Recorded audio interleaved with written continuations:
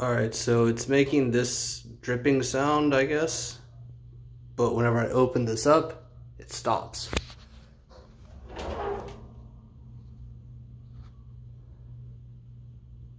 whenever I close it back, it starts again.